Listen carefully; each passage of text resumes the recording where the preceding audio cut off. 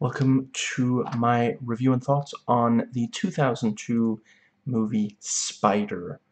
And let us dive right in. So, there we go. So, uh, yes. I'm going to start by telling you this was a movie that I absolutely loved. This video will have some jokes and I will get into some serious topics. Now, if you're looking for a review that talks about, oh, the movie doesn't really hold up, it's been outdone by later movies because that it's not that much fun to watch today, and or it's different from the book, so it sucks, whether you agree with those assessment or not, this is not that review. And let's see. Right, and, you know, this is one of those movies where you shouldn't know very much about it before you start watching it. I'm going to pretty much avoid anything that will hurt the experience of watching the movie before I get into the spoiler sections. So I realize this video is long. I'm doing what I can to make it worth your time. I started the video with a review, most likely with zero spoilers. If I spoil anything, I'll warn, verbally warn before I do so hold up an index finger until I'm done with the spoilers. You can mute and skip ahead until you see me lower my index finger. As soon as I'm done the review itself, please note the rest of the video will have lots of spoilers, including discussing the ending. So, yeah. Um, before I get much further, I want to make it clear... Yes, I'm going to criticize... There's a couple of things. I'm going to be criticizing certain things that the movie shows that, you know, similar things have happened in real life. I am criticizing the way things used to be when it comes to, like, mental health care. I know that a lot of places it's much, much better today. If you are, you know, a loved one of, of someone who's receiving mental health care, please don't automatically assume that everyone is as bad as many of the people in this are. Uh, you know, it is, like, the movie is 21 years old, and the, you know, some of the things that it shows are older than that. Now, the... Yes, so that's one thing, and the other big thing is there are some very misogynistically depicted female characters in this. When I criticize them, I want to make it clear I am not a misogynist, uh, and I really don't get the sense that uh, Cronenberg or the movie are either. It's that the movie is so deep in the first-person perspective of Spider, the titular character, and he you know, he's not meaning to be a misogynist. He's been misinformed. He's he's going off, you know, stereotypes that is so so yeah. That is what the yes. So the the let's see. Uh, that is that is all that. Yes. So the movie's rated R. So is this video you know, I will be talking about some of the, you know, really harsh stuff. Uh, yeah, there's some swearing in the movie. I might swear in this video. And let's see.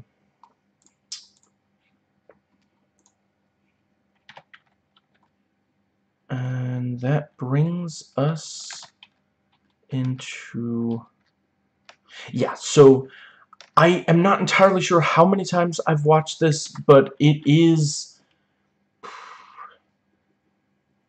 maybe half a dozen times total. Uh, the first, my first viewing was in 2005, and my most recent viewing was right before I hit record on this vlog. Now, let's see. Yeah, so the plot I'm going to be using, IMDb's here. A mentally disturbed man takes residence in a halfway house. His mind gradually slips back into the realm created by his illness, where he replays a key part of his childhood. And let's see the yeah, and the the technical side is very impressive. There's a lot of talent eh, and enthusiasm on display and yeah, so this was written by Patrick McGrath, who, you know, he wrote both the book, the, the novel, and the the screenplay. Or, the, yeah, it says written by, at least. Uh, you know, and it's one of those, you know, sometimes that means that the person you know, because he wrote the book, so he wants as much of the book in there as possible, even, you know, and he's struggling to kill his darlings, because he did that when writing the book, you know. This is not one of those. This is, like, here, 100% it understands, the, the movie understands the book, without feeling the need to just recreate everything from it and I am not familiar with anything else by Patrick McGrath.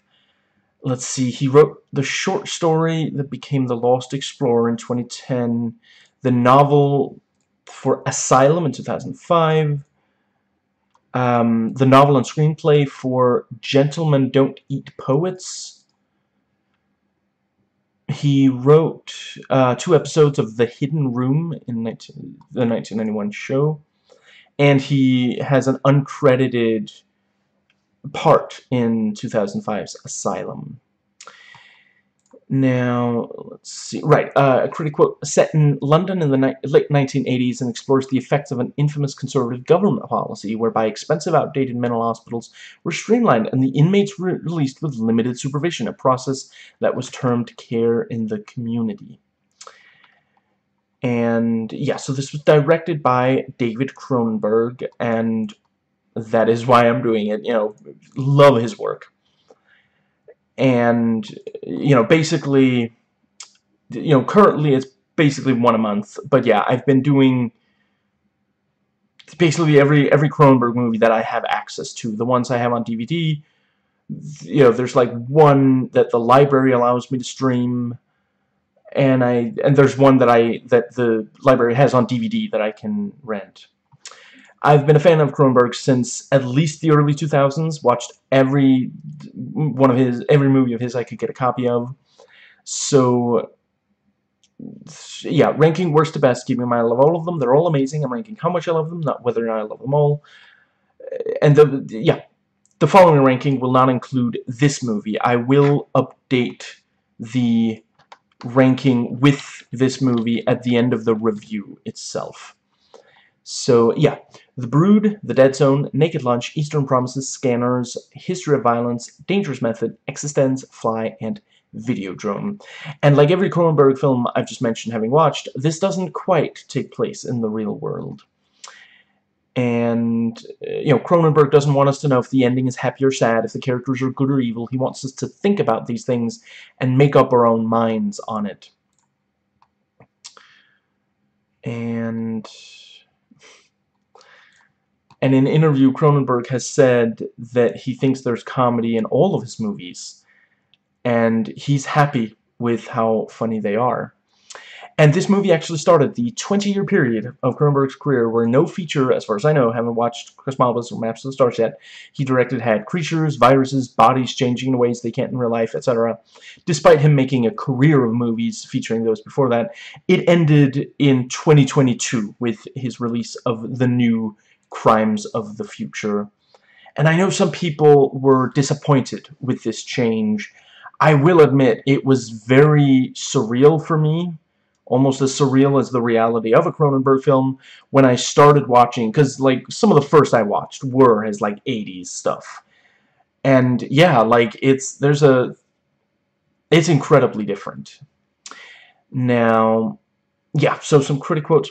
All Cronenberg films are about identity. If you're looking for recurring themes that run through Cronenberg's work, there are a few regularly revisit there are few regularly revisited than the more than the idea of body modifications and how modern technology causes people to undergo physical changes that reflect either their true identities or the way they want the world to perceive them. And yeah, and and that's not there's not a lot of that here. This is more psychological than physical uh, trauma and change. Many comparisons can be made between this film and the Ron Howard film A Beautiful Mind in that they both examine the complexities of mental illness. Whereas Howard took the glamorous Hollywood-style approach, Cronenberg continues to prove that less is more when it comes to film. Spider is significantly more effective in that it does not candy-coat its subject, rather approaching the scenario with brute realism. If you have patience and enjoy outstanding and memorable performances, then you will be very much satisfied with this dark and troubling film much more disturbing than Videodrome. Okay, I disagree with them on that. But they go on to say, showing almost nothing else than the desperate face of the brilliant Fiennes, this movie is a shocking portrait of mental illness. Let's see. This movie depicts in an extraordinary effective way the paranoid schizophrenia of the main character. One of the best movies I've seen about psychiatric conditions, a must-see. My favorite Cronenberg movie came shortly after A History of Violence.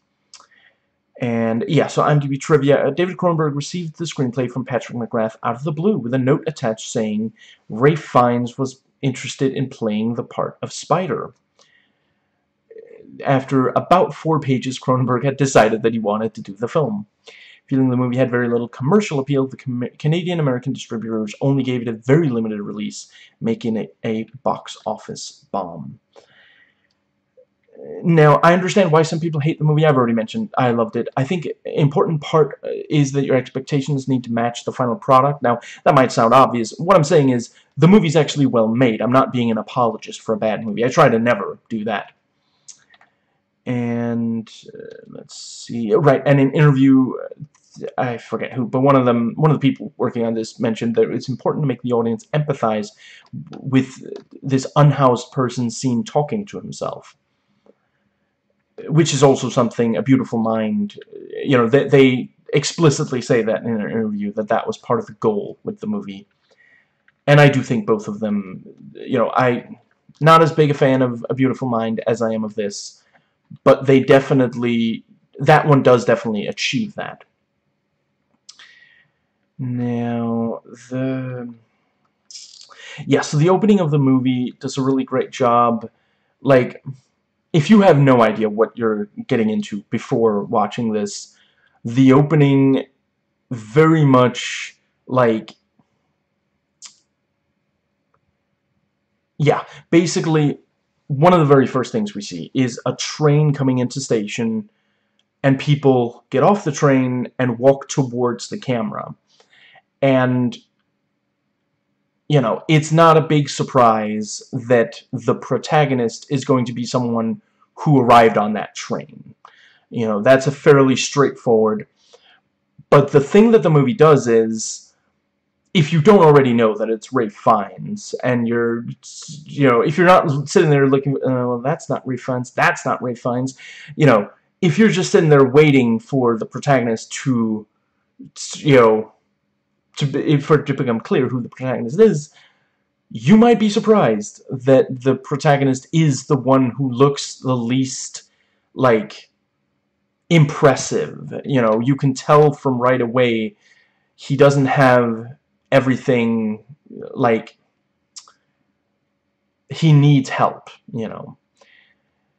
Let's see. You know, it's it's very un there's a there's not enough movies, I think, that focus on trying to get the audience to empathize with someone that we're not used to having as, like, part of our, you know, like, if you know, if, if you personally have, you know, a, a family member or something, you know, some someone in your social circle that is, you know, receiving mental health care treatment, then you'll you'll recognize you you might at least recognize aspects of the Ralph Fiennes character Spider you know but other than that like a lot of people and and you actually see that in some you know some of the negative user reviews are just people basically saying I, I resent being asked to empathize with someone who is mentally ill. You know, that this is not an impressive person. This is not, you know, where where is the the Hollywood lead that I was promised kind of thing. Now, I'm not going to give away whether it's a happy ending or a sad ending, but the ending fits with what came before.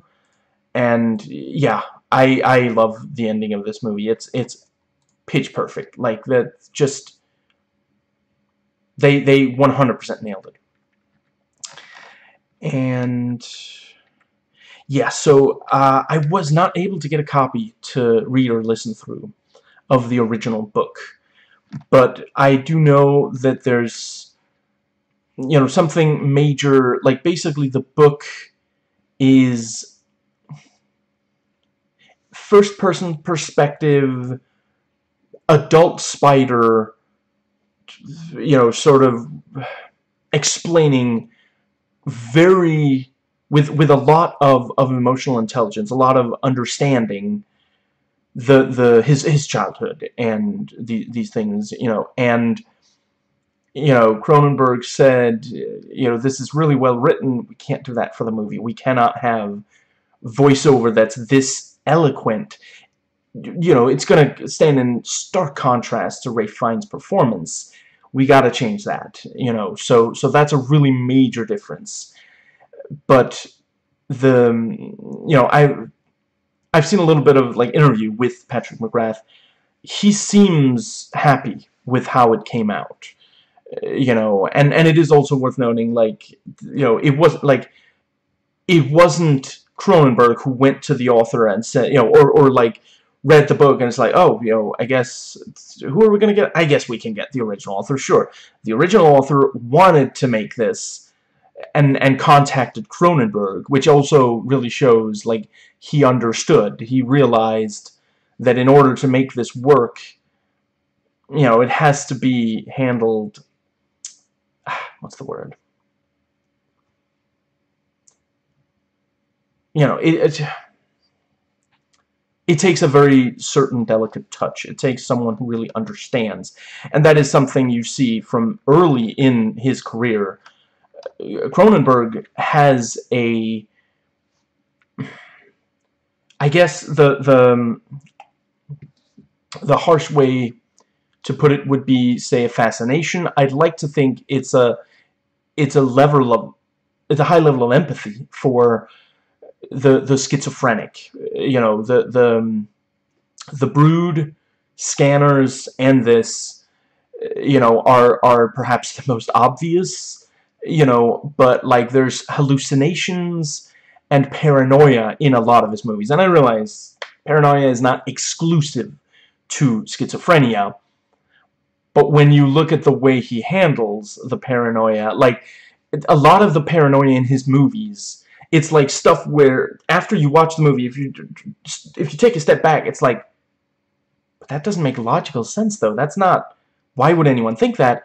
And that is, you know, like schizophrenia, as much as some Hollywood screenwriters like to think, is not logical. You know, it, it is a fundamental way of... I, I want to say I myself also have a lot of empathy for schizophrenia. You know, I'm not trying to, like, put them down but it is you know it's it's the the it's a it's the human brain trying to to make sense of of certain things that like by their nature you can't completely make sense of and that's also something that this movie does a really great job showing and uh, let's see yes so characters um yeah, so Ralph Fiennes as Spider or Mr. Clegg. This might be my favorite performance of his. I, I, it's, it's like if you've seen him in anything else, like he's he tends to be. I mean, even even when he played a Nazi, there was some measure of like maybe not quite charm, but there was like he could he could say things that would appeal to other people kind of thing where here there's there's no hint of that. Like there's no like he he he is aware that other people exist, but he doesn't seem to really understand anyone else. He's trying to understand himself. And some some of the way he maybe thinks he understands other people, he he never you know, he's not really going around like you know, smiling at people or saying things that put them at ease and these kinds of things.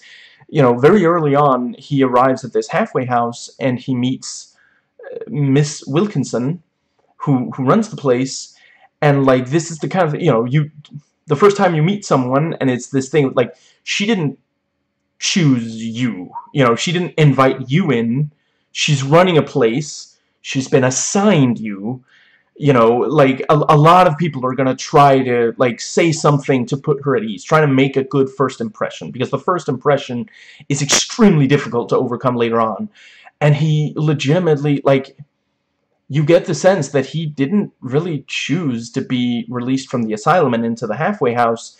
That was just, that was a, you know, some, some bureaucrat or something chose that for him, and that's it. Like, he doesn't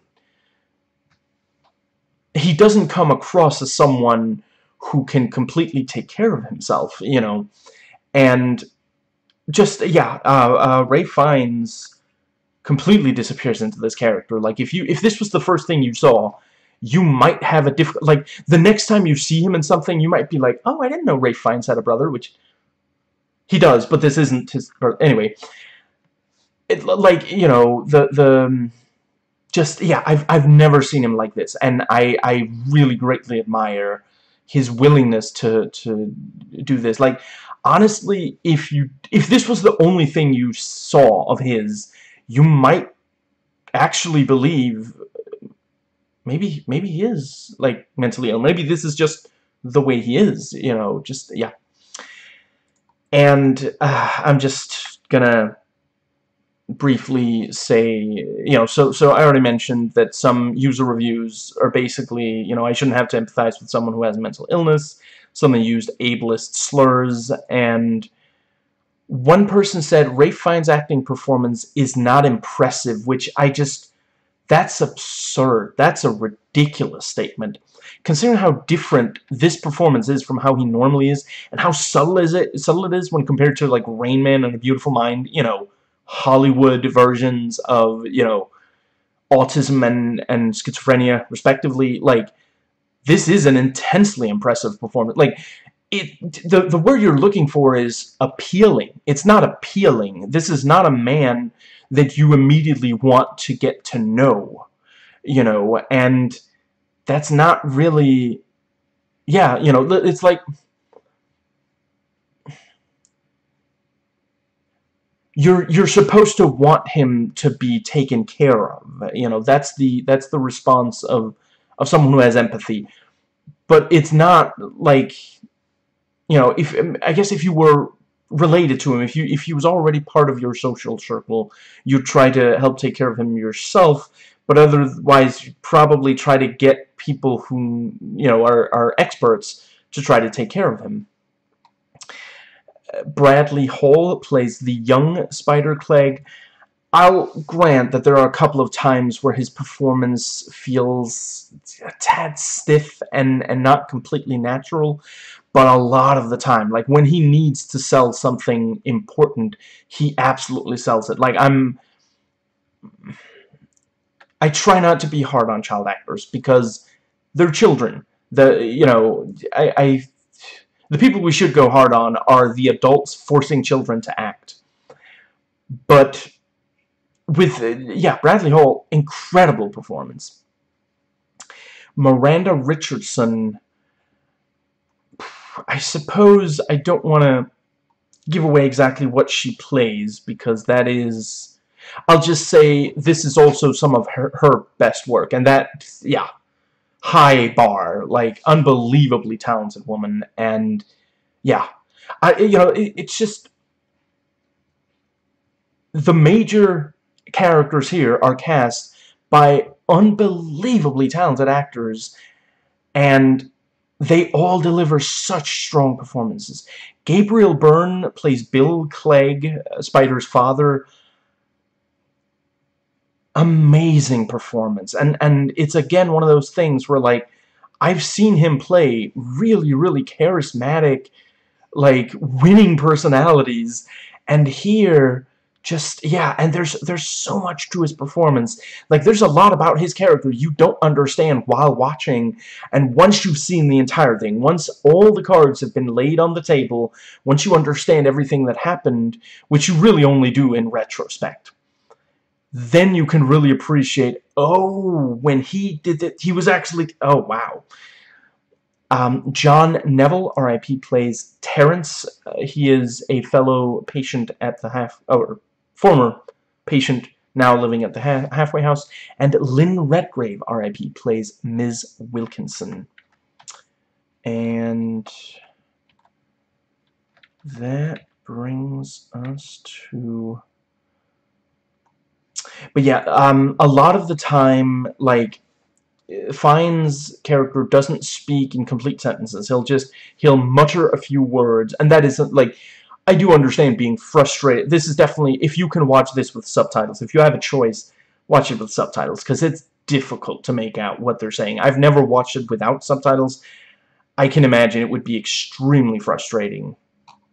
I, what I will say is, a lot of the time you can infer it. You don't need to know word for word what was said. You can you can tell. There are six entries in the IMDb quote section. All of them are good. So this was shot, the, the cinematography was handled by Peter Suschitzky, who has 44 credits.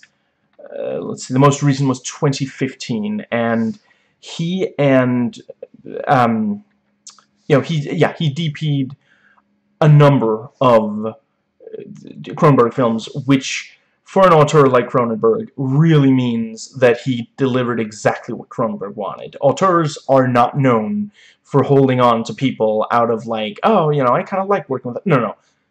You gave me what I wanted. You get to come back for, for next, you know.